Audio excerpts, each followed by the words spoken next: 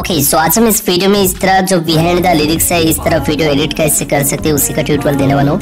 इस तरह का जो वीडियो है, काफ़ी ज़्यादा अभी ट्रेंड कर रहे हैं इंस्टाग्राम और यूट्यूब पर, शायद आप लोग देखे होंगे। इसमें क्या होगा कि सब्जेक्ट यानी कि जो पर्सन रहेगा, वो सामने रहेगा और पीछे टेक्स्ट रहेगा। आप चाहो तो उधर लिरिक्स भी ऐड कर सकते हो। ओके तो वीडियो एडिट करने के लिए आपको दो ऐप का ज़रूरत होगा, एक है कैपकट और दूसरी जो वीपीएन है वीपीएन आपको प्ले स्टोर में मिल जाएगा। कोई सा भी वीपीएन आप इंस्टॉल कीजिए। तो पहले आपको वीपीएन को ओपन करने के बाद सिंपल से वीपीएन को कनेक्ट करना होगा। वीपीएन मेरा कनेक्ट हो चुका है, उसके बाद जो कैपकाट ऐप होगा, उसको ओपन कीजिएगा, उसके बाद इधर आपको न्यू प्रोजेक्ट पे क्लिक करना है।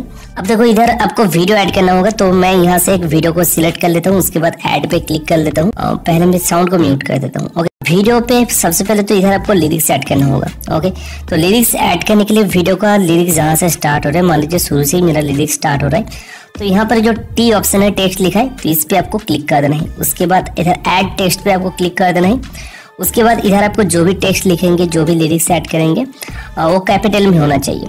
तो यहाँ पर मेरा जो था, थोड़ा करके कुछ था, ठीक है? उसके बाद आपको इधर फॉन्ट ऑप्शन पे क्लिक कर देना है।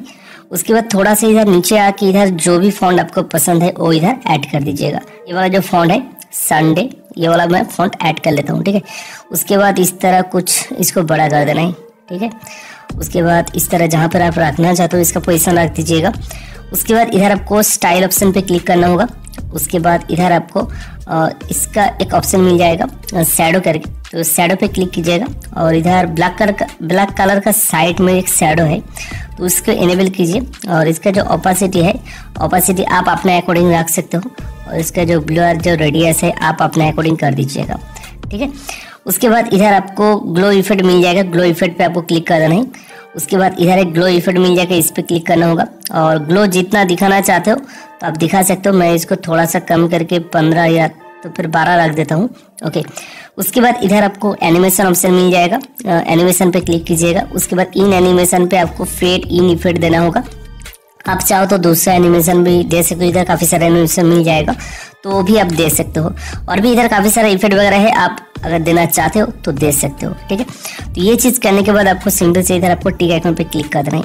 अभी इधर प्ले बटन पे क्लिक करके सॉन्ग को प्ले करना होगा। मान लीजिए, यहाँ तक ही वो वाला जो टेक्स्ट है, थोड़ा जो टेक्स्ट है, यहाँ तक ही है।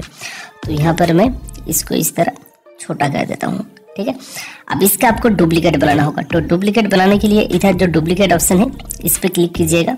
अभी जो सेकंड लिरिक्स है, कहाँ से स्टार्ट हो रहा है, वो आपको देखना होगा। मान लीजिए, यहाँ से स्टार्ट हो रहा है। तो ये जो डुप्लीकेट किया हुआ लेयर होगा तो इसको आपको यहाँ से लेके आ जाना है। तो यहाँ पर लेके आने के बाद इसका जो पोजिशन है, जहाँ तक रखना है, मान लीजिए मेरा यहाँ तक है, ठीक है? तो यहाँ पर आके टेक्स्ट को कुछ इस तरह बड़ा कर देना है।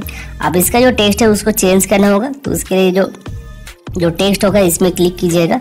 उसके बाद आपको क्या करना होगा, इधर जो ऊपर में टेक्स्ट है टेक्स्ट के ऊपर क्लिक करके इसको आपको और चेंज करना होगा, जो भी लिरिक्स है, ठीक है?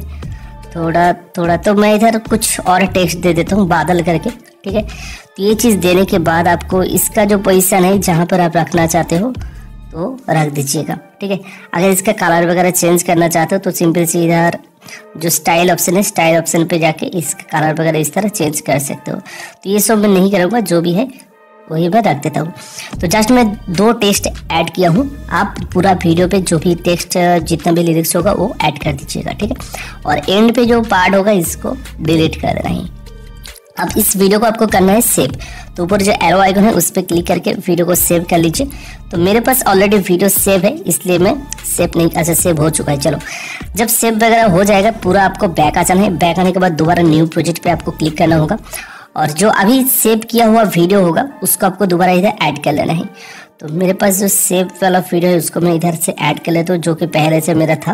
ठीक है? ऐड करने के बाद आपको क्या करना होगा, दोबारा इधर नीचे एक ऑप्शन मिल जाएगा ओवर ले करके इस पर आपको क्लिक करना होगा। उसके बाद ऐड ओवरले पे क्लिक करना होगा।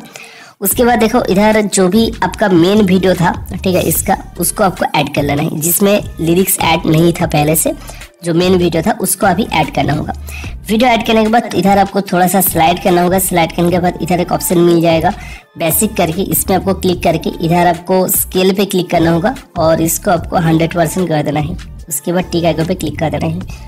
उसके बाद इधर बैक में थोड़ा सा स्लाइड करना होगा और इधर आपको रिमूव बीजी करके एक ऑप्शन मिलेगा। इस पर आपको क्लिक करना होगा। उसके बाद इधर आपको एक ऑटो रिमूवल करके ऑप्शन मिलेगा।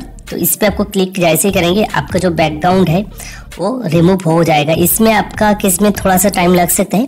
मेरा पहले से था, इसलिए ऑटोमेटिक ले लिया है। तो अभी मैं टिक आइकन पे क्लिक करके दिखा देता हूँ। देखिए, कुछ इस तरह बैक में देखिए, जो है लिरिक्स आ रहे हैं, ठीक है? तो इस तरह आप कर सकते हो। ये चीज़ करने के बाद इस वीडियो को सिंपल से सेव करने के लिए ऊपर एरो आइकन है, उसमें जाके वीडियो वगैरह सेव कर लीजिएगा।